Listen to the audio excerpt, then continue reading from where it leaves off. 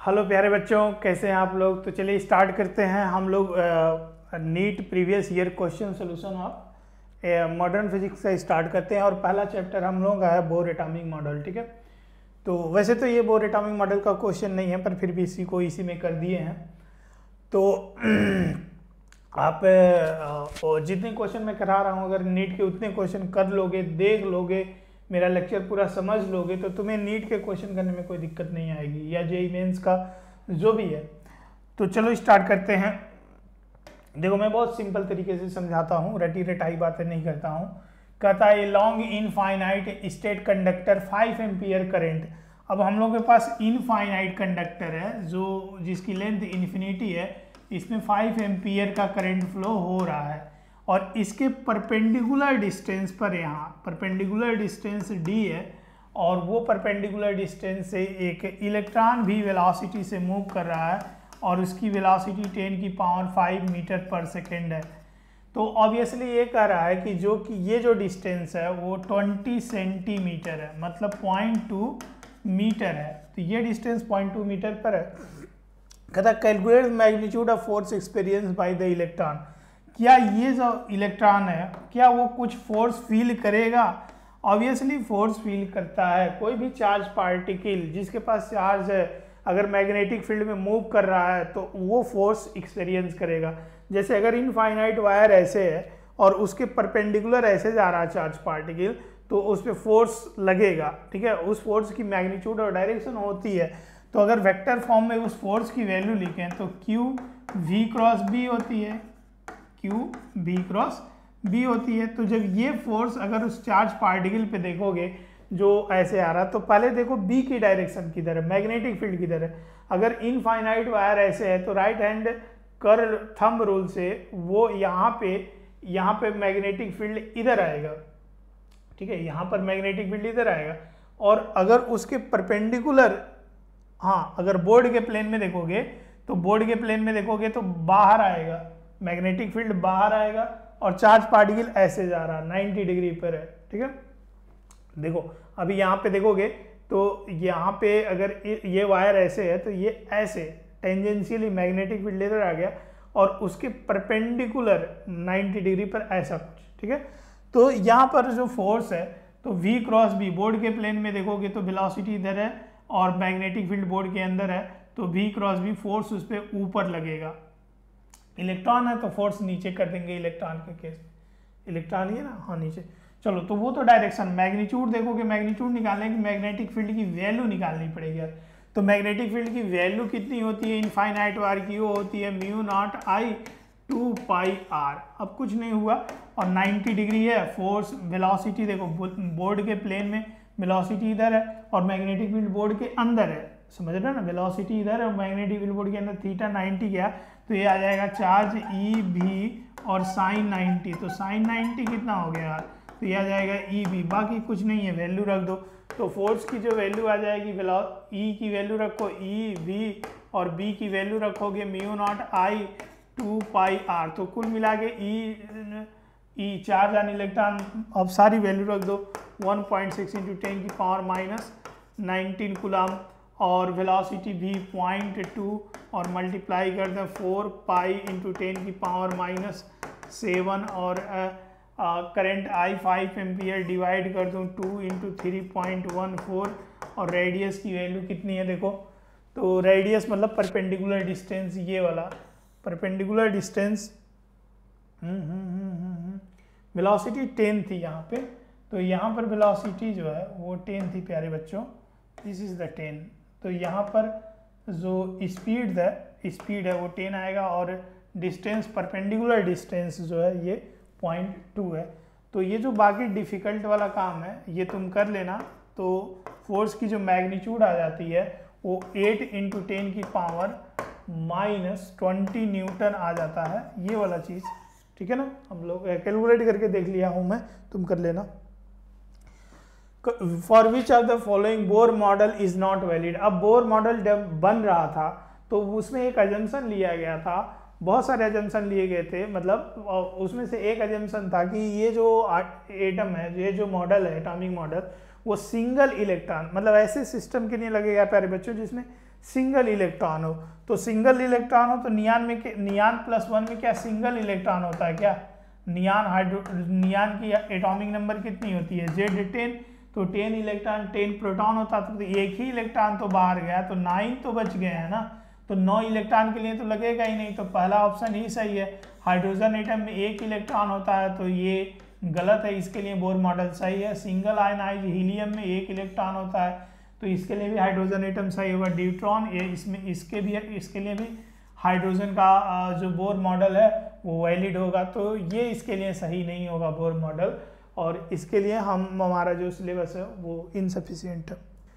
देखो total energy hydrogen atom है। Hydrogen atom में टोटल एनर्जी ऑलरेडी हमारे पास दिया हुआ है कि जो टोटल एनर्जी है इलेक्ट्रॉन का वो है minus three point four electron volt चलो। तो टोटल एनर्जी जो है काइनेटिक और पोटेंशियल एनर्जी निकालना है। इस इस एनर्जी से हमें काइनेटिक और पोटेंशियल निकालना है। तो इस एनर्जी में काइनेटिक और पोटेंशियल कैसे निकालेंगे? तो अगर मैं काइनेट एक फार्मूला आपको बताऊँ, इसको याद कर लो, बहुत इंपॉर्टेंट है प्यारे बच्चों minus two total energy minus kinetic energy that is potential energy की आधी होती है। ये ग्रेविटेशन और मॉडर्न फिजिक्स में इधर बहुत काम का फार्मूला है। तो अभी क्या निकालना बोलो? काइनेटिक एनर्जी क्योंकि टोटल एनर्जी तो kinetic energy total energy is equal to minus times kinetic energy तो टोटल एनर्जी कितना? माइनस थ्री पॉइंट फोर और माइनस काइनेटिक एनर्जी तो माइनस ने माइनस को खा गया तो kinetic energy is equal to minus three point four electronvolt. तो ये जो काइनेटिक एनर्जी है या तो इसका मतलब ये हुआ कि काइनेटिक एनर्जी वैसे भी यार ये कभी सही नहीं हो सकता ये कभी सही नहीं हो सकता। वैसे देखो आ, इस क्वेश्चन को करने की ज़रूरत नहीं है। अगर एक बच्चा कॉन्सेप्ट जानता है तो इस क्वेश्चन को करने की ज़रूरत नहीं है। काइनेटिक एनर्जी पूछा है तो काइनेटिक एनर्जी तो हमेशा पॉजिटिव होती है। तो ये सही नहीं होगा, ये सही नहीं होगा। अब पोटेंशियल एनर्जी हमेशा निगेटिव होती है तो या तो ये सही है, या तो ये सही है, और इसमें पोटेंशियल एनर्जी पॉजिटिव दिया मतलब सी ऑप्शन सही है। इसको करने की ज़रूरत ही नहीं है अगर आपको कॉन्सेप्ट पता है, ठीक है? अगर ये फार्मूला किसी को याद नहीं है, भूल जाता है तो ये तो ऑब्वियसली बिना किए भी हो जाएगा कॉन्सेप्ट से हो जाएगा।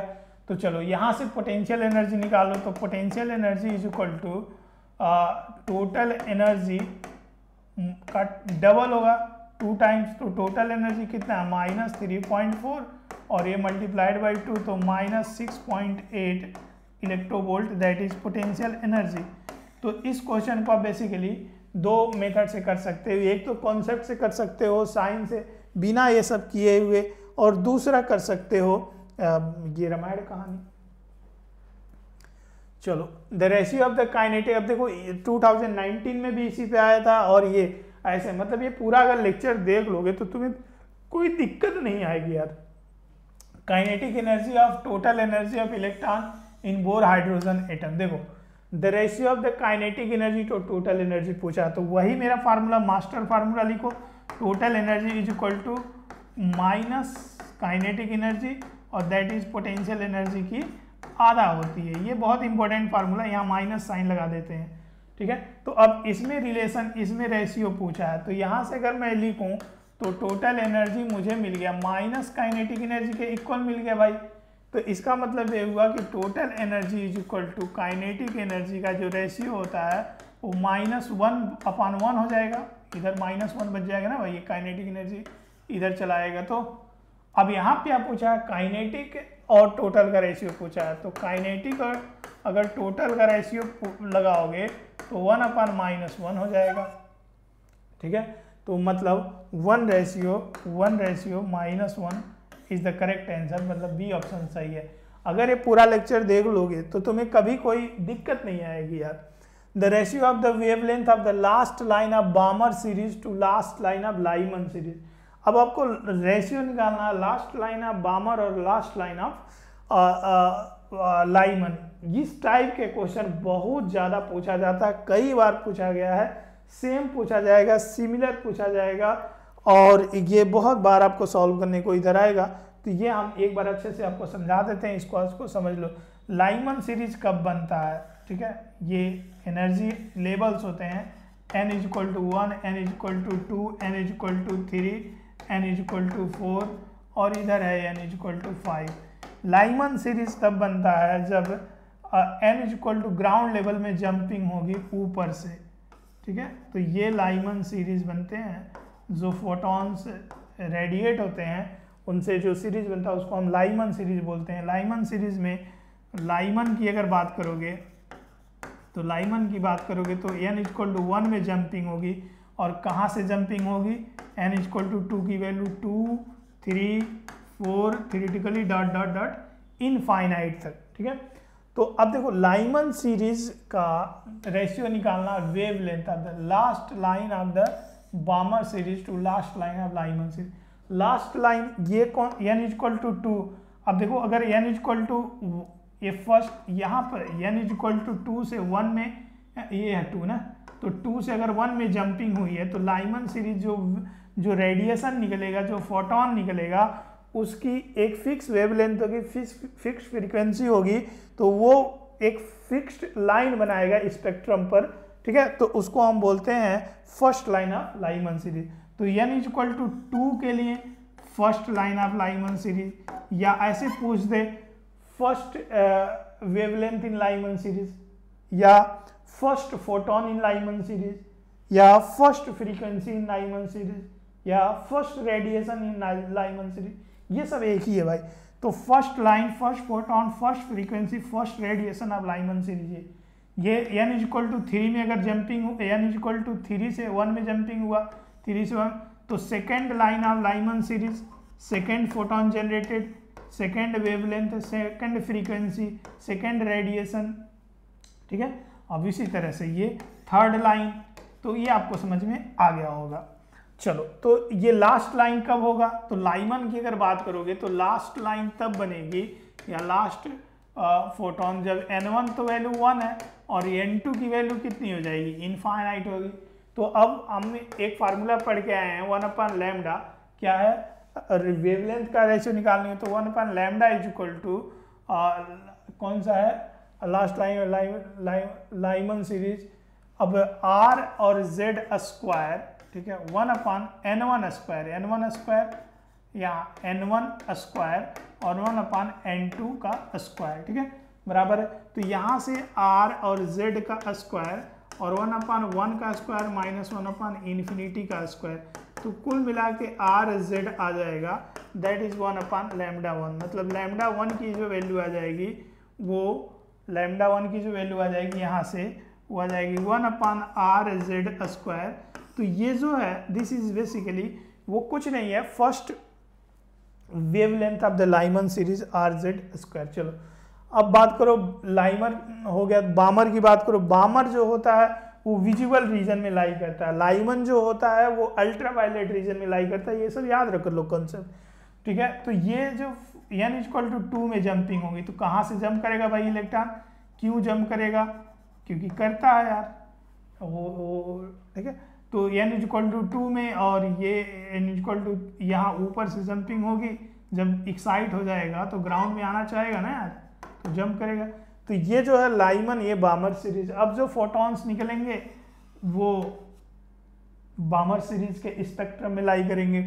तो बामर सीरीज़ विजिबल रैंक में लाई करता है, उसमें कलर्स भी आएँगे। चलो। तो यहाँ से अगर बामर सीरीज़ की बात करोगे तो बामर सीरीज़ में जंपिंग तब होती है जब एन एन वन की वैल्यू टू होगी। ठीक है? एन वन में बाल, बामर सीरीज़ की बात करोगे तो बामर सीरीज़ में, प्यारे बच्चों जंपिंग कहाँ से कहाँ से होगी? एन वन में एन वन टू होगा फिक्स है। और एन टू की वैल्यू जो है थ्री से जंपिंग होगी फोर से जंपिंग होगी फाइव से जंपिंग होगी थ्रीटिकली इनफाइनाइट से जंपिंग होगी। तो ये जो ये जो अगर जब थ्री से टू में जंपिंग हुआ तो फ़र्स्ट लाइन ऑफ़ बामर जब थ्री से टू में जंपिंग हुआ, ये वाला तो यहाँ जो फोटोन जनरेट हुआ, वो फोटोन मैं बोलूँगा first wavelength of the Balmer series first transition of Balmer series या first frequency of Balmer series या आ, समझ रहे हो ना? First photon of Balmer series का जनरेट हो गया है ठीक है? तो अलग अलग टाइप से इसको पूछा जाए अब यहाँ हमें लास्ट वाले पर लास्ट लास्ट लाइन ठीक है? ये फ़र्स्ट लाइन और ये लास्ट लाइन कब होगा? जब n1 की वैल्यू टू होगी और n2 की वैल्यू इन्फिनिटी होगी। तो वन अपन लैमडा वाला फार्मूला लगा दूँ तो R Z whatever one upon N one square मतलब ये four minus one upon infinity का स्क्वायर मतलब ये आ जाएगा R Z square upon four, one upon lambda two मतलब लैमडा टू की जो वैल्यू आ जाएगी, वो आ जाएगी four R Z square. This is what this is the lambda two first last line of the Balmer series this is the last line of Lyman series अब हमें किसका किसका रेशियो निकालना है? बामर टू लाइमन निकालना मतलब lambda two upon lambda one निकालना मतलब four upon R Z square और डिवाइड कर दूँ आर जेड स्क्वायर से तो आर जेड स्क्वायर ने आर जेड फोर इसका फाइनल सोल्यूशन है। तो आई होप कि आपको क्लियर हो गया होगा। The four is final solution that is fourth option सही है। चलो। कहता है electron hydrogen atom jump from third orbit to second orbit अब एक इलेक्ट्रॉन है हाइड्रोजन एटम में थर्ड आर्बिट से सेकेंड आर्बिट में जंप कर गया है। तो चलो पहले इसका हम बना लेते हैं। N is equal to one यहाँ से N is equal to two और ये N is equal to three और ये N is equal to four और ये N is equal to five चलो इतना हमारे लिए बहुत है। कहता थर्ड आर्बिट से सेकेंड आर्बिट में जंप किया, और हाइड्रोजन एटम है जेड की वैल्यू वन है। तो चलो थर्ड से जंपिंग करा देते हैं। थर्ड से सेकेंड में तो थर्ड से सेकेंड में जंपिंग हो गया, ये वाली ट्रांजिशन तो कुछ एनर्जी निकली होगी।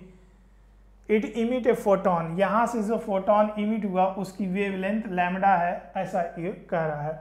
कहता है when it jump from fourth orbit to third corresponding wavelength अब फोर्थ से अगर थर्ड में जंपिंग हुआ फोर्थ से थर्ड में अगर जंपिंग हुआ तो जो नया वेवलेंथ जनरेट हुआ दैट इज़ लैमडा डैश मान लेता हूँ। ये लैमडा डैश हम लोग को निकालना है कैलकुलेट करना है।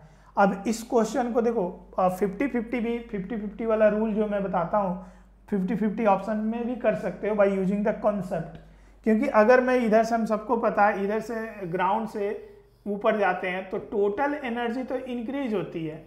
लेकिन कंजुगेटिव एनर्जी डिफरेंस ये जो एनर्जी का डिफरेंस है ठीक है दो आर्बिट के बीच एनर्जी का जो डिफरेंस है डेल्टा ई e, ये जो चीज़ होती है वो डिक्रीज होती है। डेल्टा ई e जो होती है वो डिक्रीज होती है और टोटल एनर्जी इंक्रीज होती है। लेकिन कंजुगेटिव एनर्जी डिफरेंस डिक्रीज होती है। तो कंजुगेटिव अगर एनर्जी डिफरेंस डिक्रीज होती है तो देखो थ्री से टू में जंप हुआ है तो यहाँ से ज़्यादा एनर्जी निकलेगी और अगर फोर से थ्री में जंप हुआ तो उससे कम एनर्जी निकली होगी। तो जो लैमडा है that is energy delta E is equal to जो भी energy generate H C upon lambda होता है। तो अब जब फोर से यहाँ से, जब फोर से थ्री में जंपिंग होगी तो कम एनर्जी जनरेट होगी। तो लैमडा क्या होगा? कम होगा। तो सॉरी एक कम एनर्जी जनरेट होगी तो लैमडा क्या होगा? ज़्यादा होगा। मतलब lambda dash will be greater than lambda, क्योंकि एनर्जी डिफरेंस कम है, जबकि इसका एनर्जी डिफरेंस ज़्यादा है। क्योंकि एनर्जी डिफरेंस कंजिक्यूटिव ऊपर से जाते हैं तो घटता चला जाता है। तो लेमडा डैश लेमडा से कम होगा मतलब ये ऑप्शन कभी सही नहीं हो सकता। रेशियो मतलब lambda dash upon lambda ratio must be greater than one ratio one से अधिक होगा ये। तो ये ये ये भी कभी सही नहीं हो सकता जो कि एक से कम है। तो ऑब्वियसली देखो, ये, या तो ये सही है, या तो ये सही है, ठीक है? ये फिफ्टी फिफ्टी अपने कॉन्सेप्ट से हम लोग कर लिए। और ये कॉन्सेप्ट सीख लो, याद कर लो। बहुत सारे क्वेश्चन बिना जहाँ लोग स्ट्रगल करेंगे, जहाँ जो नॉर्मल लोग हैं, वो स्ट्रगल करेंगे। और तुम क्या करोगे? तुम उनसे बहुत आगे निकल जाओगे, बस यूँ एक लाइन में क्वेश्चन करके। तो ये कॉन्सेप्ट याद कर लो। मतलब याद क्या करना है यार? वो मतलब समझ लो। तो ये, अब यहाँ से एक्चुअली 50 50 वाला रूल तो लग गया, पर हमारे पास दो ऑप्शन आ गया तो यहाँ पर तो हमें कैलकुलेट करना ही पड़ेगा। तो चलो कैलकुलेट कर लेते हैं, कोई दिक्कत वाली बात है नहीं, हम लोग कैलकुलेट करना जानते हैं। तो लगा देते हैं दोनों ट्रांजिशन के लिए। वन अपन लैमडा पहले के लिए देखो one upon lambda is equal to one upon lambda यहाँ से अगर देखोगे तो रिगबर एक कॉन्स्टेंट आर और हाइड्रोजन है तो जेड की वैल्यू वन हो गई। और वन अपन कहाँ से कहाँ जंपिंग हुआ? फ़र्स्ट में four minus one upon nine clear है सबको ये? समझ में आ गया? थ्री से टू में लगाए, फोर का स्क्वायर और थ्री का स्क्वायर। तो वन अपन लेमडा की जो वैल्यू है, वो आ जाएगी आर और यह आ जाएगा फाइव और यह आ जाएगा थर्टी सिक्स। मतलब लेमडा की जो वैल्यू आ जाएगी, वो आ जाएगी thirty six upon five R that is equation number first अब सेकेंड में फोर से थ्री में जंप हुआ है तो फोर से अगर थ्री में जंप हुआ है तो अगर फोर से, चलो, फोर से थे, और थ्री में जंप हुआ तो वन अपान लैमडा डैश की जो वैल्यू आ जाएगी Rydberg constant one upon three का square nine minus one upon ये फोर का स्क्वायर ये सिक्सटीन ठीक है? N one square minus N two square तो लैमडा डैश की जो वैल्यू आ जाएगी, प्यारे बच्चों, यहाँ से वन अपन लैमडा डैश की जो वैल्यू आ जाएगी, वो आ जाएगी आर और ये सिक्सटीन ए आर और ये सिक्सटीन माइनस ये सेवन आ जाएगा और ये आ जाएगा सिक्सटीन मल्टीप्लाइड बाई नाइन मतलब वन फोर्टी फोर तो चलो लेमडा डैश की जो वैल्यू आ जाएगी वो सिक्सटीन मल्टीप्लाइड बाई नाइन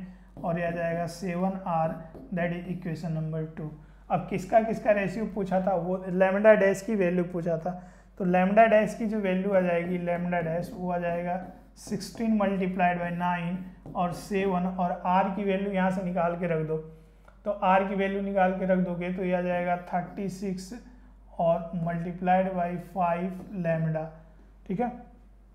तो इसको काट लो। ए, फोर टाइम्स कट जाएगा और ये फोर फोर टाइम्स कट जाएगा। मतलब लैमडा डैश आ जाएगा ट्वेंटी अपॉन सेवन लैमडा अब देखो एक से अधिक ही आएगा जो। तो अभी यहाँ तो कैलकुलेशन करना पड़ेगा बट बहुत सारे क्वेश्चन इस कॉन्सेप्ट पे भी कर सकते हो। मतलब ये हुआ कि हम लोग का प्यारे बच्चों, ये ऑप्शन गलत है सी ऑप्शन सही है। चलो, कहता है given the value of the Rydberg constant is ten की पावर सेवन अब अगर रिगबर कांस्टेंट हमने असाइन कर दिया कि टेन की पावर सेवन है, प्यारे बच्चों तो wave wave number of the last line of Balmer series to hydrogen spectrum अब wave number of the last line of the Balmer series in hydrogen spectrum Balmer series कम बनता है। हम सबको पता है कि बामर सीरीज़ कम बनता है। N is equal to one N is equal to two और N is equal to three Balmer series तब बनता है जब अब टू में जंपिंग होगी। तो टू में जंपिंग कहाँ से होगी? हायर लेवल से जंपिंग होती है। ठीक है? तो बामर सीरीज़ तब बनता है। बामर सीरीज़ तब बनता है जब प्यारे बच्चों N is equal to two होती है और N two is equal to three four five infinity से इस टाइप से जंपिंग होती है। तो फ़र्स्ट लाइन अब ये कहता है लास्ट लाइन लास्ट लाइन कब होती है? लास्ट फोटोन कब जनरेट होता है? तो जब n1 की वैल्यू लास्ट अगर बात करोगे लास्ट लाइन की बात करोगे तो N one is equal to two आएगा और एन टू आ जाएगा इन्फिनिटी तो लास्ट ट्रांजिशन है। तो इस केस में जो लैमडा की जो वैल्यू आ जाएगी, वो आ जाएगी रिगवर constant one upon N one square minus one upon N two square होता है। तो यह आ जाएगा रिगवर constant one upon N one square मतलब फोर माइनस वन अपन यहाँ से फोर देखोगे तो वो इन्फिनिटी का स्क्वायर। मतलब जो लेमडा की जो वैल्यू आ जाएगी लेमडा की वैल्यू आ जाएगी, वो आ जाएगी फोर बाई आर तो दिस इज़ द लेमडा अब हमें कहता है कि रिगबर कॉन्स्टेंट वेव नंबर हमें पूछा है। तो वेव नंबर पूछा लैमडा नहीं पूछा तो वेव नंबर जो होता है wave number one upon lambda होता है बच्चों तो one upon lambda is equal to R upon four R की वैल्यू टेन की पावर सेवन है तो फोर तो one zero point zero point two five into ten की power seven this is the per metre ये zero point मतलब ये हम लोगों का आ, ये वाला ऑप्शन ए ऑप्शन सही है। तो मोटिवेटेड रहो एनर्जेटिक रहो और बढ़िया से पढ़ाई करो खुश हो के दिल में अंदर में खुशी होनी चाहिए यार कि अंतरात्मा क्वेश्चन ऐसा करो कि हाँ सर ने पढ़ाया यार, किसी ने पढ़ाया, ऐसा पढ़ो। ऐसे नहीं कि यार किसी ने ऐसे ही मतलब आगे पढ़ा दिया spectrum of hydrogen the ratio of the longest wave length in Lyman series to longest wavelength in Balmer series अब देखो लॉन्गेस्ट की बात कर रहा लॉन्गेस्ट वेवलेंथ यही बताया ना मैं, इसको जो मैं आपको बताया पिछली बार, वही बार बार पूछा जाएगा, उसको कई तरीके से पूछा जाएगा। तो लॉन्गेस्ट वेवलेंथ कब होती है लाइमन सीरीज़ में? तो लाइमन सीरीज़ कब बनता है भाई? तो लाइमन सीरीज़ जो है, तब बनता है जब n1 की वैल्यू वन होती है और n2 की value two three four dot dot dot dot infinite हर एक ट्रांजिशन के लिए एक वेवलेंथ जनरेट होता है। तो ये कहता है कि ratio of the longest wavelength Lyman series to longest wave Balmer से। सबसे पहले लॉन्गेस्ट वेवलेंथ कब जनरेट होगा? देखो, एक बार एक बार यहाँ बना लो समझने के लिए, मैं तुम्हें समझाने के लिए, तुम शॉर्टकट समझना जल्दी जल्दी कर सकते हो।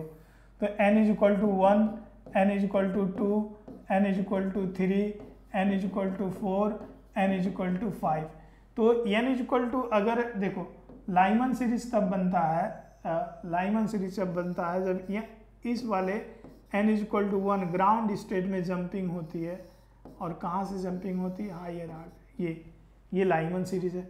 बामर कब बनता है? तो बामर तब बनता है जब ये यहाँ पर जंपिंग होगी। तो कहाँ से जंपिंग होगी भाई? हायर आर्बिट से जंपिंग होगी ये।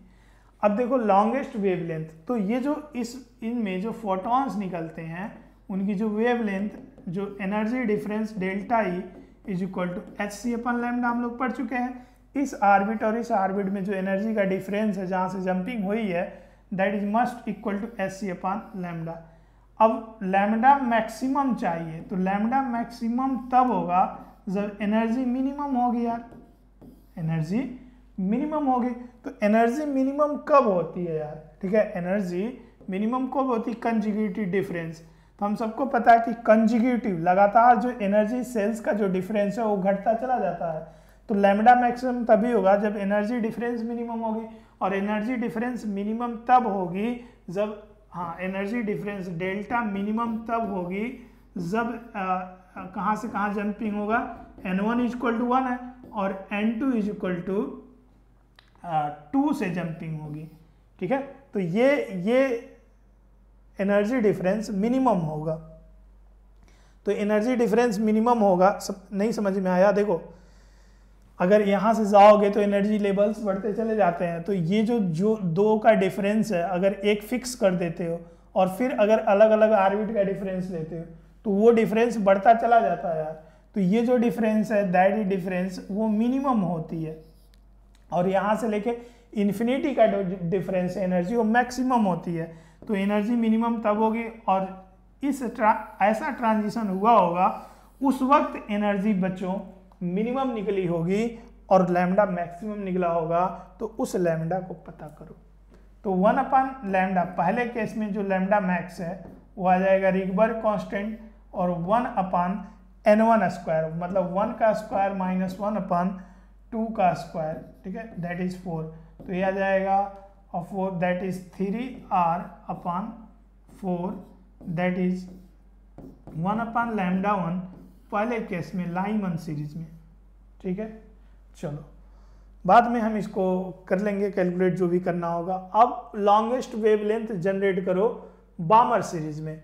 तो बा longest wavelength in Lyman series to long Balmer series Balmer series में लॉन्गेस्ट वेवलेंथ कब जनरेट होगा? फिर वही कहानी देखो। लॉन्गेस्ट वेवलेंथ लैम्डा मैक्सिमम कब होगा? जब एनर्जी डिफरेंस मिनिमम होगी।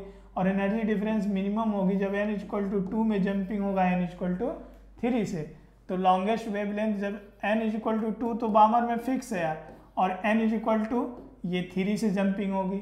बामर तो इसका मतलब ये हुआ कि one upon lambda two second case में is equal to Rydberg constant one upon two का square minus one upon three का स्क्वायर जहाँ पे जंपिंग हुई है तो Rydberg constant one upon four minus one upon nine that is four और nine यहाँ से इसको कैलकुलेट कर लो।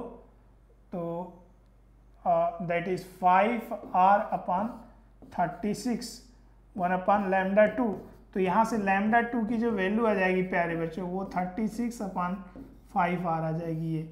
अब इनकी हमें रेशियो लेनी है। देखो रेशियो किसकी किसकी लेनी है? ठीक है? तो लॉन्गेस्ट लाइमन टू बामर तो लाइमन का इधर हम लोग निकाल लिए थे। और बामर का हम लोग इधर निकाल लिए तो इनका रेशियो ले लो। तो lambda one upon lambda two तो लैमडा वन की वैल्यू कितनी है? That is four by three R और लैमडा टू की वैल्यू है thirty six upon five R तो आर ने आर को ख़त्म कर दिया और ये नाइन टाइम्स में ख़त्म हो जाएगा। तो five upon twenty seven this is the final solution तो five upon twenty seven that is हम लोगों का बी ऑप्शन सही है। तो आई होप कि बहुत बेहतर तरीके से आपको क्लियर हो गया होगा कि लैमडा मैक्सिमम कब जनरेट होगा जब एनर्जी डिफरेंस मिनिमम अगर यही में पूछ देता कि लैमडा मिनिमम अगले साल आ जाएगा 2023 में लैमडा मिनिमम निकालो तो लेमडा अगर मिनिमम कब निकालोगे? जब एनर्जी डिफरेंस मैक्सिमम होगा एन वन से इन्फिनिटी से जंपिंग यहाँ होगी। ठीक है? चलो वीडियो पॉज करो। खुद सॉल्व करने consider third third orbit of helium मतलब हीलियम है, उसका हमें थर्ड आर्बिट कंसीडर करके चलना है using the non relativistic approach speed of electron in orbit will be अब उस आर्बिट में स्पीड ऑफ़ इलेक्ट्रॉन इतना दिया हुआ चलो, अब ये देखो, यहाँ से मैं आपको एक बहुत ही अच्छा रूल मतलब बताता हूँ। मतलब ये हाँ यार, कि याद रखो कि हाँ नवनीत सर ने कुछ बहुत बेहतर बताया था। कि स्पीड कैसे निकालते हैं? क्योंकि बहुत सारा बुक पढ़ोगे तो तुम कन्फ्यूज़ हो जाओगे और बड़े बड़े फार्मूले देख के आ, आ, पागल हो जाओगे। तो consider the third orbit of helium किसी आर्बिट में स्पीड कैसे निकालते हैं इस क्वेश्चन से सीखेंगे हम। ठीक है? तो मैं आपको दो मेथड बताता हूँ। कहीं कहीं पे दोनों इफ़ेक्टिव होते हैं। दोनों कहीं कहीं पे ट्राई करना एक से कम कैलकुलेशन करना पड़ता है एक से ज़्यादा करना पड़ता है। तो आप दोनों करके निकाल सकते हो। तो n is equal to one n is equal to two n is equal to three ये तो कहता है थर्ड आर्बिट इस आर्बिट की बात हो रही है, ये वाला. थर्ड आर्बिट में अगर इलेक्ट्रॉन चक्कर लगा रहा होगा तो उसकी कुछ स्पीड होगी. उस स्पीड की वैल्यू निकालना है, और ये हाइड हीलियम है.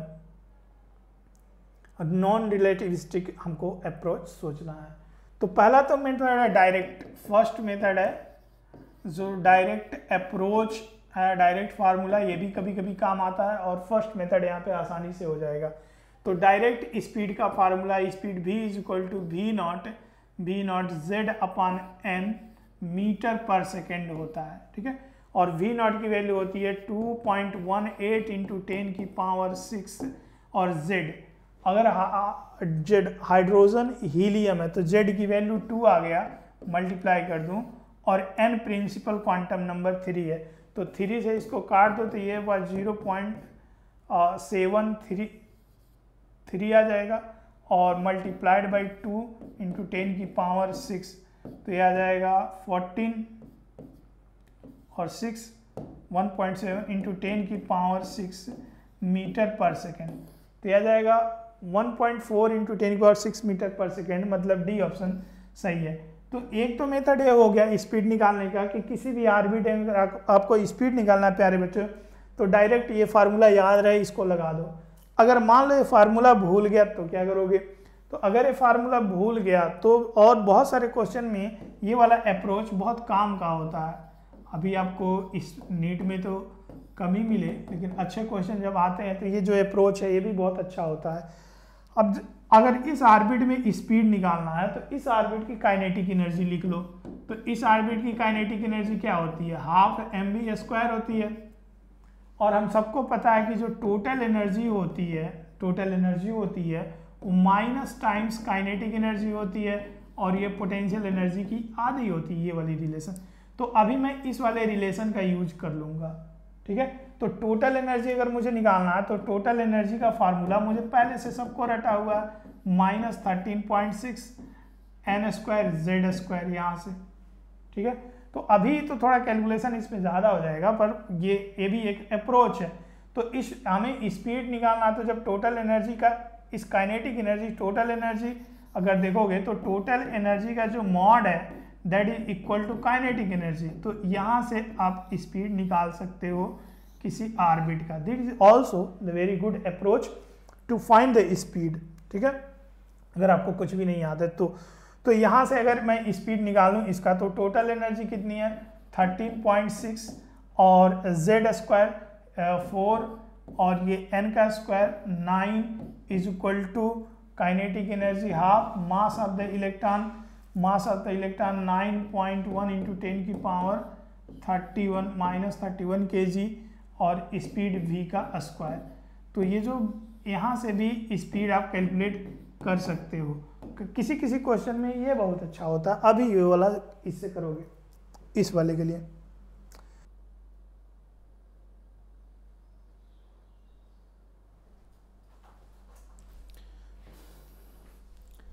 तो चलो बच्चों, इस वाले क्वेश्चन को देखते हैं। इसमें क्या है कि hydrogen atom in ground state excited by the monochromatic light मतलब इलेक्ट्रॉन का हाइड्रोजन एटम का ग्राउंड स्टेट में है और उसको मोनोक्रोमेटिक लाइट से हम एक्साइट कर दिए। कितना रेडिएशन हम डाले? 975 angstrom the number of spectral lines in the resulting spectrum अब आप सबको पता है कि अगर स्क्रीन पे हम स्पेक्ट्रम बनाते हैं तो कितनी लाइन जब वो एक्साइट हो चुका है तो जब डी एक्साइट होगा तो कितनी लाइंस स्क्रीन पे दिखेगी? वो हमें निकालना है। तो इस क्वेश्चन से आप ये सीखोगे कि स्पेक्ट्रल लाइंस कैसे कैलकुलेट करते हैं और इसका मैं बहुत ही आसान तरीका बताता हूँ। बेसिकली मैं दो मेथड बताता हूँ और दोनों मेथड से आप जो भी आपको अच्छा लगे वो कर लेना। तो देखते हैं इसका क्या मतलब है। पहले समझने की कोशिश करो। जैसे ये एनर्जी लेवल है, ठीक है? ये this is the energy level ये डिग्रीज होता चला जाता है। N is equal to one n is equal to two और n is equal to three n is equal to four और n is equal to five इस तरह से एनर्जी लेवल है, ठीक है? तो जब इलेक्ट्रॉन अपना हमारा कहाँ इलेक्ट्रॉन है? ग्राउंड स्टेट में है, प्यारे बच्चों, यहाँ से है। अब इलेक्ट्रॉन यहाँ से है एक्साइट होकर जब ऊपर जाएगा, कहीं पे भी ऊपर जाएगा, हमको नहीं पता कहाँ गया तो कहीं ऊपर जाएगा एक्साइट होकर जब डी एक्साइट होगा तो फोटॉन्स जनरेट करेगा। तो कितने फोटॉन्स जनरेट करेगा? इसी क्वेश्चन को अलग अलग तरीके से पूछा जा सकता है कि अगर यहाँ से यहाँ से जो, जब इलेक्ट्रॉन डी एक्साइट हुआ तो स्क्रीन पे कितनी लाइनें दिखेंगी या इसी को यहाँ से कितने नंबर ऑफ़ फोटोन्स निकलेंगे, कितना ट्रांजिशन हुआ होगा या यूँ कह सकते हो आपकी कितनी वेवलेंथ निकली होगी, कितनी फ्रीक्वेंसी निकली होगी, सबका मीनिंग एक ही है, ठीक है? तो अब यहाँ से इसको हम एक बार लिख लेते हैं कि number of number of photons generated photons is equal to number of wavelength number of wavelength generated कितनी वेवलेंथ निकली होगी? Number of frequency number of frequency इस चीज़ को आप समझ लो। कितने ट्रांजिशन हुए होंगे यहाँ पे? Number of transition number of transition is equal to number of lines number of lines इन सब का मीनिंग एक ही है। क्योंकि जब इलेक्ट्रॉन इधर जाएगा तो ऐसे तो जाएगा ही नहीं यार। तो या भी यहाँ पर जो वेवलेंथ है, वो monochromatic radiation electron is excited by इस इलेक्ट्रॉन को जो हम एनर्जी दिए हैं, उस एनर्जी की वेवलेंथ कितनी है यार? उस एनर्जी की वेवलेंथ है 975 एंगस्ट्रॉन तो सबसे पहले मुझे ये पता करने पड़ेगा बच्चों कि ये इलेक्ट्रॉन एक्साइट होके किस वाले एनर्जी लेवल में या किस वाले आर्बिट में गया है? तो ये बात तो हमें पता ही नहीं है कि किस वाले आर्बिट में जंप किया है। तभी तो हम निकाल पाएँगे नंबर ऑफ़ लाइन या ट्रांजिशन कितना होगा या कैसे वापस आएगा या कितने फोटॉन्स निकलेंगे। ये जो फोटॉन्स हैं नंबर ऑफ़ फोटॉन्स लिखा हूँ बच्चों, ये मैक्सिमम फोटॉन्स हैं मैक्सिमम फोटॉन्स ठीक है, जब वो डी एक्साइट होगा तो मैक्सिमम कितने फोटोन आएँगे? तो इस बात को पहले मैं पता करूँगा कि एक्साइट होके गया कहाँ है, जब इसको इतनी एनर्जी का लैमडा दिया गया तो। तो इस बात को पता करने के लिए बच्चों, हमारे पास दो तरीके हैं बेसिकली दो मेथड है। पहला ये है कि देखो, जब वेवलेंथ अगर यहाँ से लैमडा दिए हो तो बेसिकली इस बात को पता कर सकते हो हाँ एनर्जी दिए हो ना तो इस वाले फार्मूले से कैलकुलेट कर सकते हो देखो। स्पेक्ट्रल लाइन पता करने के दो तरीके हैं बट हमें ये पता करना पड़ेगा कि वो गया कहाँ। तो energy delta E is equal to H C upon lambda ठीक है? Energy delta E is equal to H C upon lambda इतनी एनर्जी दे दिए तो यहाँ हमारा चला गया। तो जब ये आ, हमने या आ, मतलब जब वापस आएगा तो इतनी एनर्जी रेडिएट कर देगा कुल मिला के तो यहाँ से लैम एनर्जी डिफरेंस कैलकुलेट कर लेते हैं। तो energy difference is equal to S का एंगस्ट्रॉन में है। तो एंगस्ट्रॉन में कैसे लिखते हैं? एस की वैल्यू 12 नंबर 420 याद कर लो। S C Verma problem 12 number और 400 उसका आंसर 420 होता है। ऐसे याद कर लो।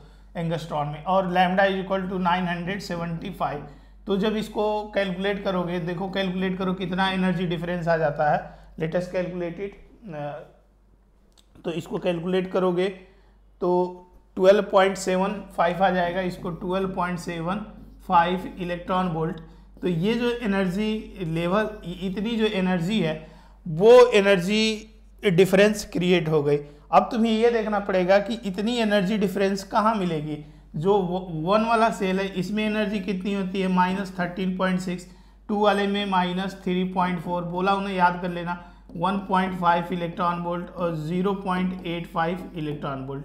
ठीक है? और और भी ए। तो अगर देखोगे तो 12.75 इलेक्ट्रॉन वोल्ट इसमें तो आएगा नहीं। इसमें तो 10.2 आता है तो इसमें भी नहीं आएगा। तो ये जो एनर्जी डिफरेंस है वो फोर वाले में आ जाएगा। मतलब इलेक्ट्रॉन, ये जो एनर्जी, ये जो लैमडा डाले हो, इंसिडेंट एनर्जी, वो एनर्जी पाके, एनर्जी लेवल फोर में गया होगा। समझ रहे हो ना? एनर्जी ये जो डिफरेंस है delta E that is the difference of the E four E four minus E E one के बीच का डिफरेंस है। तो ई e फोर कितना है? Minus zero point eight five और ये प्लस कर दो थर्टीन पॉइंट सिक्स ज़ीरो तो ये ये जो डिफरेंस है, इतना difference twelve point seven five हमें मिल जा रहा है। तो ये वाली डिफरेंस मिल जा रही है हमें। तो बराबर ये बात हमको समझ में आ गया कि अब फोर में चला गया। तो जब फोर में चला गया तो अब नंबर ऑफ़ लाइंस पता करने के लिए हमारे पास दो तरीके हैं। पहला तरीका है, आपको फार्मूला याद हो, और दूसरा तरीका है, आप बेसिक से कर सकते हो लॉजिक से कर सकते हो, जो भी आपको अच्छा लगे, आप कर लेना। तो ये बात तो पता चल गया कि एन इज़ टू फोर में चला गया, प्यारे बच्चों। तो यहाँ से नंबर ऑफ़ एन वन पहले एन वन में था, और अब पहले एन वन में था, अब एन टू की वैल्यू फोर हो गई। तो जब वापस आएगा फोर से, देखो तो पहला मेथड ये है फ़र्स्ट मेथड है फ़र्स्ट मेथड बेसिक है। तो फ़र्स्ट मेथड बेसिक से हम ट्रांजिशन से कैलकुलेट कर लेते हैं। तो अब यहाँ पे n is equal to one है, n is equal to two है, n is equal to three है, n is equal to four है, प्यारे बच्चों। तो फोर से वन में कैसे आएगा? हमें इस दुनिया में किसी को नहीं पता वो कितने रास्ते से आएगा बट मैक्सिमम कितना हो सकता है, वही नंबर ऑफ़ फोटोन या नंबर ऑफ़ वेवलेंथ या नंबर ऑफ़ ट्रांजिशन होगा। तो पहला तो रास्ता ये हुआ, ऐसे आ गया। दूसरा डायरेक्ट आना यहाँ है ग्राउंड में आना भाई। तो पहला तो रास्ता यहाँ से हो गया कि डी एक्साइट होके यहाँ आ गया। आना इसको यही है। दूसरा रास्ता ये हुआ थ्री में आया, फिर टू में आया, फिर वन में आया। और हर एक ट्रांजिशन में एक फोटोन जनरेट करेगा, एक वेवलेंथ एक फ्रीक्वेंसी जनरेट करेगा। तो एक, दो, तीन, चार हो गए। अब तीसरा तरीका ये है कि ये यहाँ से इसमें आया और फिर इसमें आया। इसके अलावा कोई पॉसिबिलिटी ही नहीं है तो one two three four five six one देखो one two three four five six तो नंबर ऑफ़ स्पेक्ट्रल लाइंस या number of number of photons जो आ जाएगा नंबर ऑफ़ फोटॉन्स या नंबर ऑफ़ लाइंस जो आ जाएगा नंबर ऑफ़ लाइंस उसकी जो वैल्यू आ जाएगी, प्यारे बच्चों, वो सिक्स हो जाएगी। पहला तरीका हुआ। दूसरा मेथड है सेकेंड मेथड, आप फार्मूला याद कर लो। सेकेंड मेथड है, अगर n one n one n one से कहाँ जंप कर गया है? एन टू से। तो एन वन से अगर एन टू में जंप किया है तो नंबर ऑफ़ लाइंस जो होती है नंबर ऑफ़ लाइंस वो होती है एन एन माइनस वन और डिवाइडेड बाई टू ठीक है? तो अभी एन की वैल्यू कितनी थी? यहाँ एन वन की वैल्यू कितनी है? N1 की वैल्यू पहले किसमें था? N1 की वैल्यू वन थी और n2 की जो वैल्यू है वो n हो गई। मतलब n में ग्राउंड से जब जब ग्राउंड से एक्साइट होके जाता है तो ये फार्मूला लगाते हैं। अभी मैं आपको बता रहा हूँ, एक और फार्मूला तो यहाँ पहले कहाँ ग्राउंड से गया ना?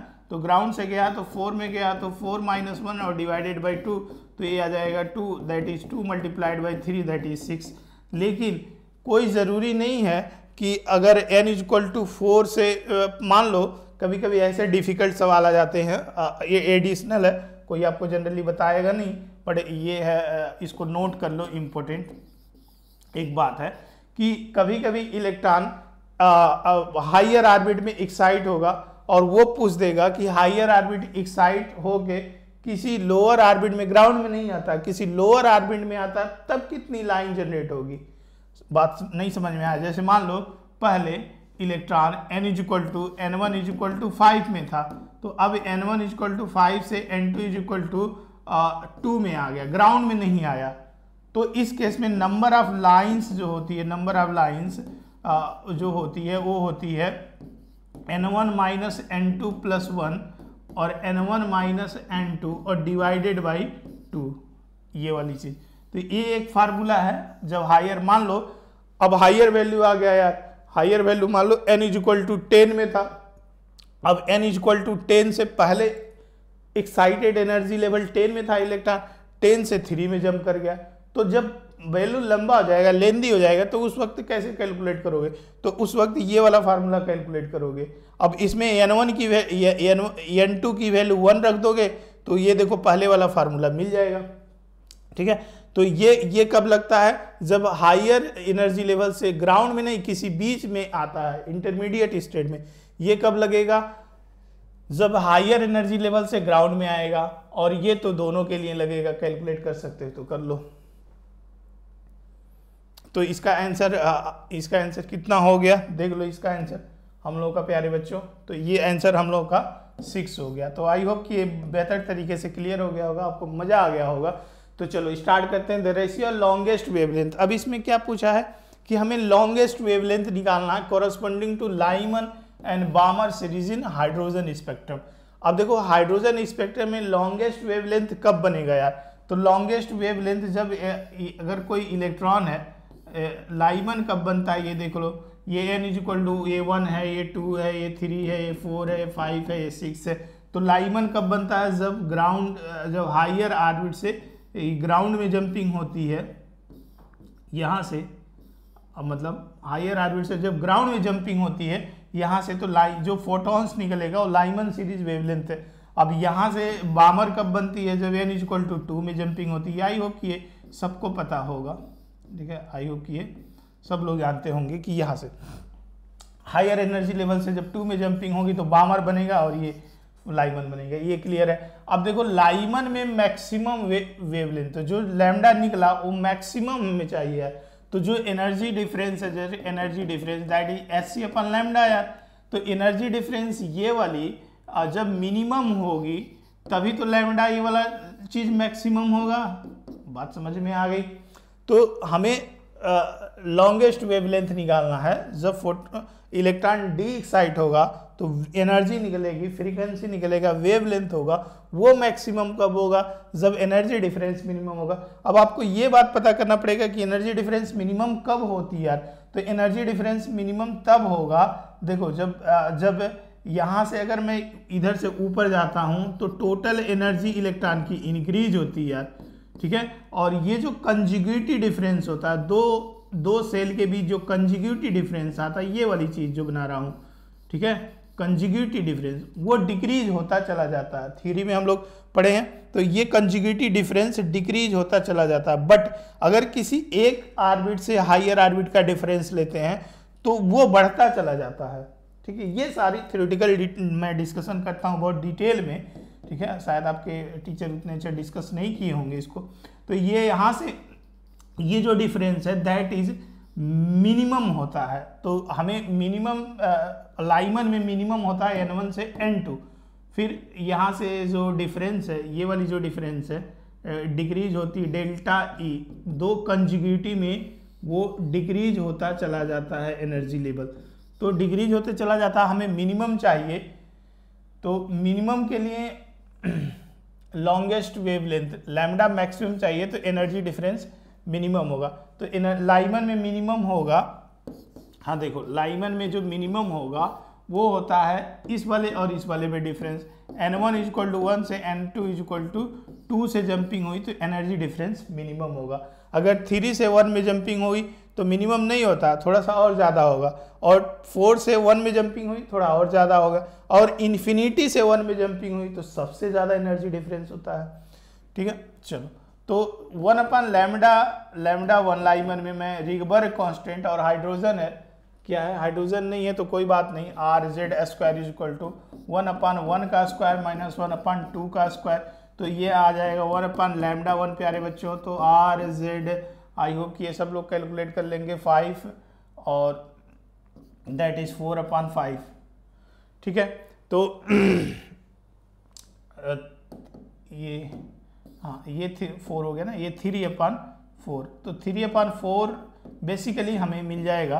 ये वाली चीज़ हाँ थ्री बाई फोर तो इसको यहीं रहने देते हैं। लैमडा वन की जो वैल्यू आ जाएगी that is four upon three R Z square ये जो लैमडा वन की जो वैल्यू है, इतनी हमें आ गई चलो। अब इसी तरह से लैमडा टू कैलकुलेट करो। तो लैमडा टू कैलकुलेट करोगे तो अगेन आ जाओ, बाल, बामर सीरीज़ में आ जाओ। तो बामर सीरीज़ में जो है एनर्जी मिनिमम होगी डेल्टा ई मिनिमम होगा। कब होगा भाई मिनिमम बोलो, कहाँ से जंपिंग होगी? जब जंपिंग होगी प्यारे बच्चों N one is equal to two तो फिक्स है और N two is equal to three से जंपिंग होगी। तो one upon lambda two is equal to R Z square और वन अपन टू का square minus one upon three का square ठीक है? तो ये इसको हम लोग कैलकुलेट कर लेते हैं, देख लेते हैं कितना आता है। तो फाइनली इसको जो आ जाएगा R Z square is equal to one by four one upon nine और ये आ जाएगा five R Z square upon thirty six that is lambda two upon is equal to thirty six is equal to five R Z square this is the lambda two अब आपको ratio किसका किसका पूछा? Lyman का देखो यहाँ ratio किसका पूछा? लाइमन टू बामर पूछा। तो लाइमन ये रहा लैमडा वन लाइमन में डिवाइड कर दो lambda one upon lambda two तो लैमडा वन कितना भाई? फोर और थ्री आर जेड स्क्वायर और यह आ जाएगा five R Z square divided by thirty six. R Z ने आर जेड को ख़त्म कर दिया और नाइन टाइम्स ख़त्म हो जाएगा तो फाइव अपान ट्वेंटी सेवन इसका फाइनल सोल्यूशन है। तो आई होप कि आपको ये बात क्लियर हो गया होगा कि five one twenty seven that is D option सही है। चलो। ये कहता है, इलेक्ट्रॉन इन हाइड्रोजन आइटम एक इलेक्ट्रॉन है हाइड्रोजन आइटम में, अकेला ही रहता है बेचारा, ठीक है? सिंगल रहता है। ये electron in hydrogen atom make transition N one से एन टू तक। N1 से एन टू तक एक ट्रांजिशन है। N1 N2 कोई रैंडम एनर्जी लेवल है। हमको नहीं पता है कि N1 N2 क्या चीज़ है। बट ये बात क्लियर है कि एन वन से एन टू तक ट्रांजिशन किया है।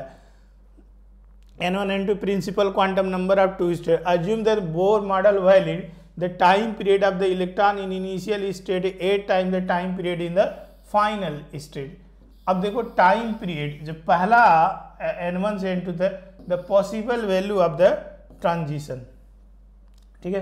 तो पहले कहाँ था? इनिशियल इलेक्ट्रॉन कहाँ था? Initially electron N one is equal to N one is N one में था। एन वन हमको नहीं पता है। और फाइनली कहाँ चला गया यार? फाइनली एन टू में चला गया, ठीक है? ये ट्रांजिशन हो गया। फॉर एग्ज़ाम्पल अगर एनर्जी लेवल इस टाइप से अगर देखो आप N is equal to one N is equal to two actually circle में बना देते हैं तो ज़्यादा आपको इसमें फील आएगा क्योंकि टाइम पीरियड के बारे में डिस्कशन हुआ है, ठीक है? तो ये न्यूक्लियस है प्यारा सा और ये इसके अंदर ये इस तरह से आर्बिट है। तो यहाँ से इलेक्ट्रॉन पहले N1 में था, मान लो। अब यहाँ से कहीं N2 में जंप कर गया ये। तो ये कह रहा है, जब N1 में था इलेक्ट्रॉन तो उसका टाइम पीरियड मान लो T1 था। अब जब N2 में आया तो उसका टाइम पीरियड T2 हो गया। तो ये कह रहा है कि इनिशियल स्टेट ये देखो time period of the electron in the initial state मतलब T one is equal to eight times T two T one is equal to eight times T two क्या ये बात सही होगा? T one is equal to eight times T two होगा obviously जब यहाँ higher orbit में होगा तो वेलोसिटी कम होती है तो टाइम पीरियड ज़्यादा होता है।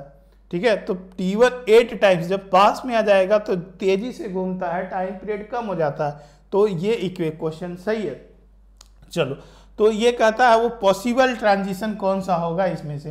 तो ये बात कैसे कैलकुलेट करें? तो ये बात हमें कैलकुलेट करने के लिए ये जो कंडीशन है, इसी कंडीशन से क्वेश्चन सॉल्व होगा। इस कंडीशन को हम लोग सॉल्व कर लेंगे।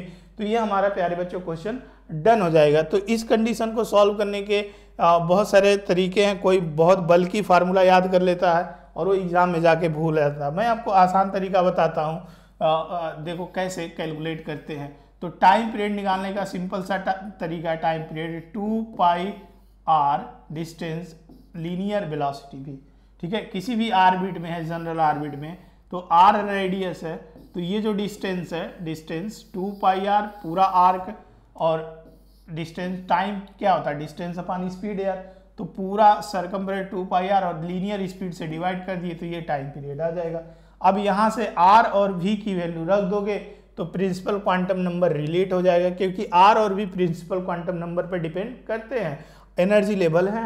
एनर्जी लेवल पर डिपेंड करते हैं। तो आर की वैल्यू हम सबको पता है आर की value R naught N square upon Z है, और हाइड्रोजन है तो जेड की वैल्यू वन हो गई।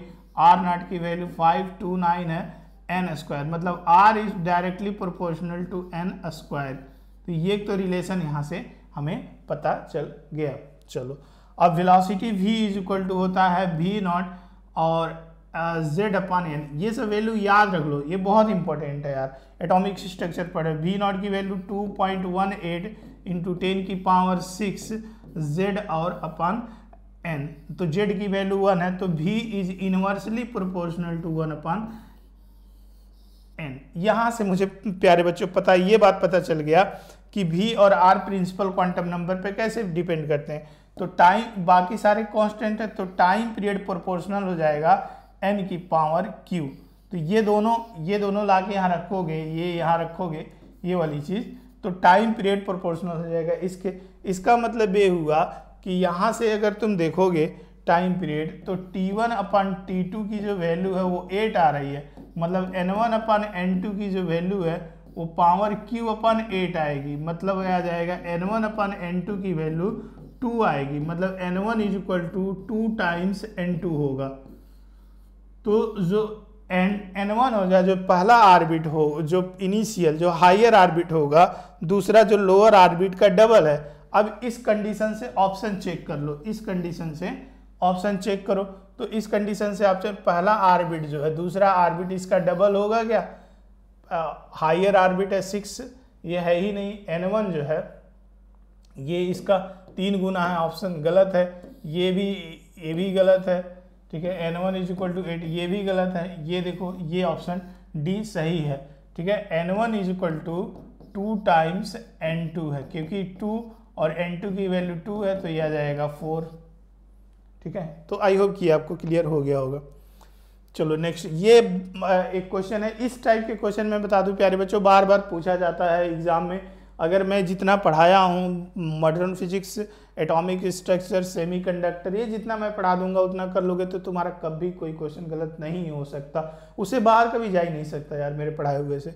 तो electron in hydrogen atom jump from the third excited state to second excited state. तो इलेक्ट्रॉन जो है जम्प किया है फ़र्स्ट, थर्ड एक्साइटेड स्टेट। अब आपको ये पता करना पड़ेगा कि ये थर्ड वाला एक्साइटेड स्टेट कहाँ होता है कि सेकंड में जम्प कर गया है। थर्ड से कहाँ गया है? सेकंड में। एनर्जी लेवल नहीं यार। एक्साइटेड लेवल अलग होता है और एनर्जी लेवल अलग होता है। And from the second excited state to first excited पहले ये बात समझने की कोशिश करो। तो ये अगर, ये मैं बात अगर आपको समझाता हूँ तो आप इधर समझने की कोशिश करो एक बार। बहुत सारे बच्चे इसमें डाउट होते हैं। तो ये वन और टू और ये इस टाइप से। इट्स इट्स टाइप से होता तो ये एनर्जी लेवल वन होता है और ये टू होता है, ये थ्री और ये फोर और ये फाइव और ये सिक्स ये बार बार हम यूज़ करेंगे। लेकिन ये तो ये जो चीज़ है, वो आर्बिट है। आर्बिट नाम दे दो, या एनर्जी लेवल नाम दे दो, बात बराबर है। इनका नाम एनर्जी लेवल दे दो, बात बराबर है।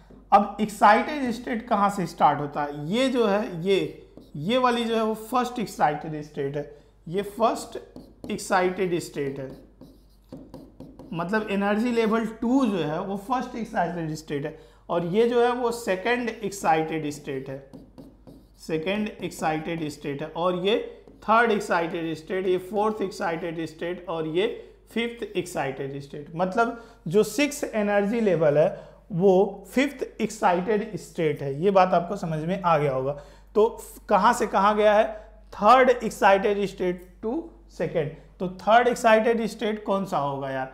तो ये देखो, ये फ़र्स्ट सेकेंड थर्ड तो थर्ड एक्साइटेड स्टेट से सेकेंड एक्साइटेड स्टेट में गया है और सेकेंड एक्साइटेड स्टेट ये वाला चीज़ है, ठीक है? ये पहला ट्रांजिशन यहाँ से हुआ है, ठीक है? ये सेकेंड एक्साइटेड स्टेट है तो ये पहला ट्रांजिशन हुआ और इस ट्रांजिशन में कुछ वेवलेंथ जनरेट हो गई। उस वेवलेंथ का नाम है लेमडा वन मतलब N is equal to N one is equal to हाँ कहाँ से कहाँ जंपिंग हो गई है?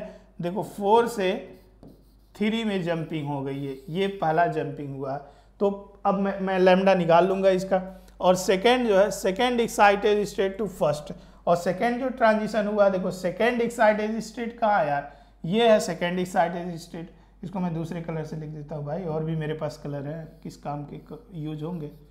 तो यहाँ से प्यारे बच्चों, ये वाली चीज़ second excited state to first चला गया। तो इसमें भी वेवलेंथ कितना निकल गया? फोटोन जो जनरेट हुआ, उसकी वेवलेंथ लैमडा टू है। कहाँ से कहाँ ट्रांजिशन हुआ एनर्जी लेवल के टर्म में बात करोगे तो थ्री से टू तो ये लैमडा वन और लैमडा टू की रेशियो निकालनी है। तो आई होप कि ये क्वेश्चन आपको बेहतर तरीके से समझ में आ गया होगा और ये रेशियो आप अब निकाल सकते हो आराम से, बड़े आराम से।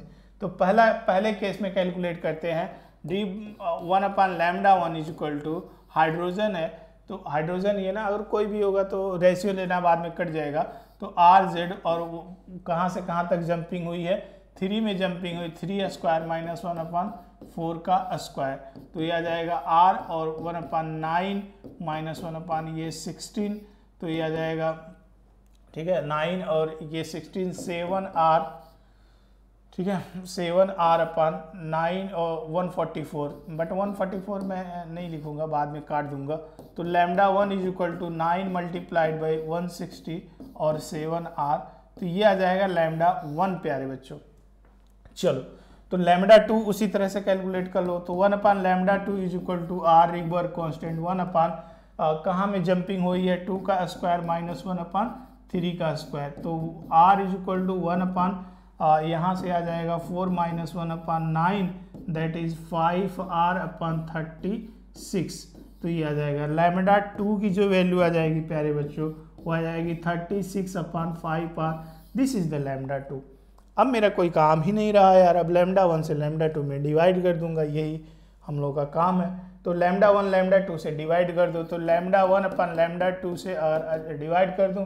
तो लैमडा वन कितना था? नाइन मल्टीप्लाइड बाई सिक्सटीन और ये आ जाएगा सेवन आर और ये था फाइव आर और ये डिवाइडेड बाई थर्टी सिक्स तो आर ने आर को ठीक है? और ये फोर टाइम्स कट जाएगा और ये फिर से ये फोर टाइम्स कट जाएगा।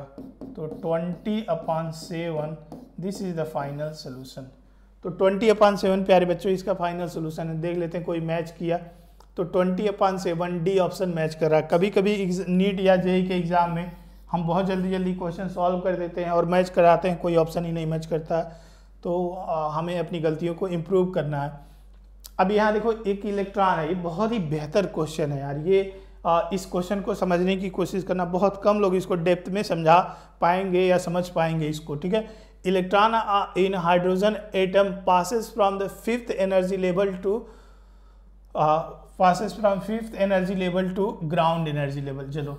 फिफ्थ एनर्जी लेवल, पहले इलेक्ट्रॉन कहाँ से कहाँ से कहाँ ट्रांजिशन हो गया? फिफ्थ से वन में चला गया यार। एनर्जी लेवल फिफ्थ से वन में चला गया। अब velocity of the atom acquired as a result of photon emission. अब जो एटम है, उसकी वेलोसिटी निकालना है। समझने की कोशिश करना। इसमें बहुत अच्छी बात है, वो मैं आपको समझाऊँगा।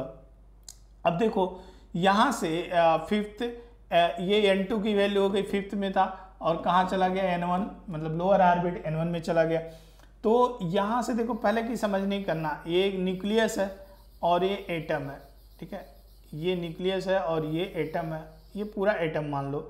ऐसे एटम मान लो रखा हुआ है। ये ग्राउंड पर ऐसे एटम रखा हुआ है। तो यहाँ से अगर कोई इलेक्ट्रॉन है, जो फिफ्थ एनर्जी लेवल में, ये ए एन फाइव है और ए N is equal to one है, बीच में मैं छोड़ देता हूँ ये। तो यहाँ से अगर कोई इलेक्ट्रॉन ट्रांजिशन करता है समझने की कोशिश करना। तो वो वो क्या करेगा? इस प्रोसेस में एक फोटोन निकलेगा यार। एक फोटोन निकलेगा, एक डायरेक्ट ट्रांजिशन हुआ तो एक ही फोटोन निकलेगा एक ट्रांजिशन में। तो एक फोटोन निकलेगा तो उस फोटोन की अपनी वेलोसिटी है, उस फोटोन का अपना मोमेंटम है, उस फोटोन की अपनी वेवलेंथ है, क्योंकि फोटोन एक पार्टिकल है ये। तो इस फोटोन की वजह से जो एटम होता है, वो अगर एटम पीछे नहीं जाएगा एटम पीछे रिक्वायर नहीं होगा तो मोमेंटम कंजर्वेशन फिजिक्स का गलत हो जाएगा। ठीक है?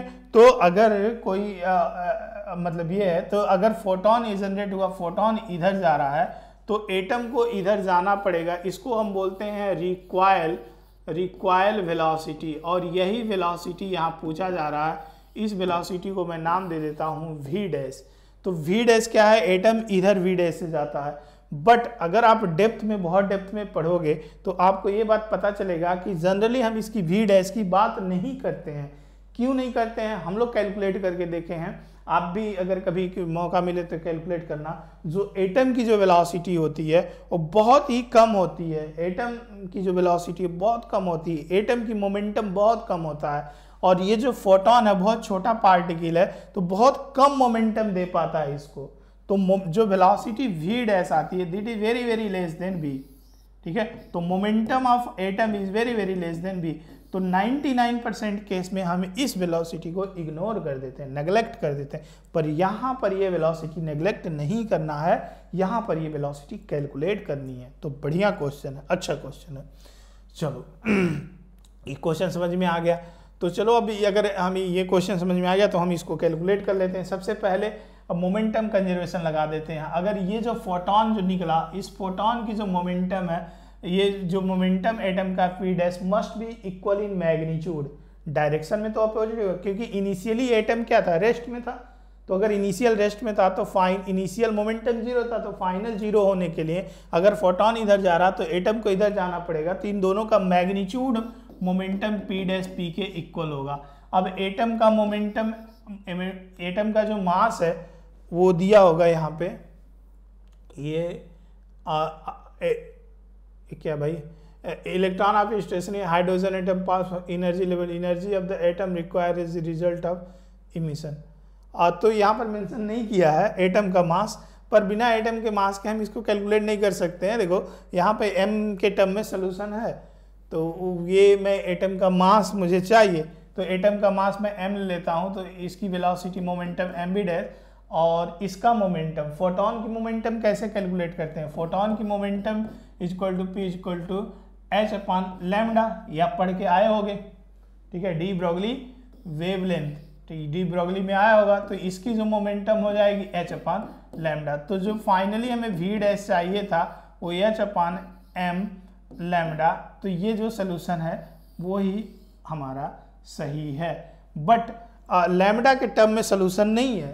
The solution is not given in the in the term of lambda. तो रिगबर कांस्टेंट और एच के टर्म में है तो इसका मतलब ये हुआ कि मुझे लैम्डा को रिप्लेस करना पड़ेगा। तो लैम्डा को कैसे रिप्लेस करें? लैम्डा क्या है? तो लैम्डा वह फोटोन की वेवलेंथ है जो डी साइड जब इलेक्ट्रॉन हुआ तो निकला तो उसको हम निकालना। हमें पहले से पता है कि वन अपन लैम्डा की वैल्यू रिगबर कॉन्स्टेंट और कहाँ से कहाँ तक जंपिंग हुई है? वन में गया है, कहाँ से गया है? अब फाइव का स्क्वायर करते हैं फाइव से गया है तो यह आ जाएगा twenty four R upon twenty five इसका मतलब ये हुआ, प्यारे बच्चों, कि इसका मतलब ये हुआ, यहाँ से मैं कैलकुलेट कर लेता हूँ। इसका मतलब ये हुआ कि जो वन अपान लैमडा की जो हाँ वन अपान लैमडा की जो वैल्यू है, वो आ जाएगी ट्वेंटी फोर अपान फाइव तो यहाँ जब मैं रख दूँगा तो मुझे वेलोसिटी भी जो दिखेगी, वो आ जाएगा twenty four R H Planck's constant divide कर दूँ 25 M this is the final solution तो ये यहाँ से आप देख लेते हैं कि 25 five point twenty four H R twenty twenty four H R divided by twenty five तो twenty four H R divided by twenty five finally जो है, ये हमारा फ़र्स्ट ऑप्शन मैच कर रहा है, बाकी गलत है। ठीक है? The mass is not mention here आप नोट कर लेना. मास होना चाहिए। The transition from the state N to three in a hydrogen atom like result in ultraviolet radiation अब देखो, एक ट्रांजिशन हो गया। कहाँ से कहाँ तक ट्रांजिशन हुआ है? थ्री से वन तक गया। पहले एक्साइट इनर्जी लेवल जो था, वो थ्री था। थ्री से वन में हो गया तो अल्ट्रा वायलेट रेडिएशन निकला। हमेशा विजुअल नहीं निकलती हमेशा कलर नहीं निकलेंगे ठीक है?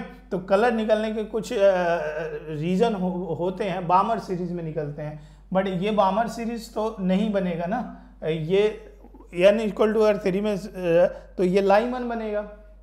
N equal to three to one in hydrogen atom result in ultraviolet red radiation will be obtain अब देखो अल्ट्रा वायलेट रीजन हम सबको पता है, पहले तो आप याद कर लो कि जो लाइमन सीरीज़ है लाइमन सीरीज़ में, ठीक है ultraviolet region ultra violet radiation मतलब अल्ट्रा वायलेट रेडिएशन की वेवलेंथ या फ्रीक्वेंसी निकलती है, और बामर सीरीज़ में बामर सीरीज़ में, और बामर सीरीज़ में विजिबल विजिबल मतलब कलरफुल निकल सकता है, और लाइमन बामर पासिन और उसके बाद पासिन फुंड और ब्रेकेट, ये सब इंफ्रारेड रीजन में आ जाते हैं।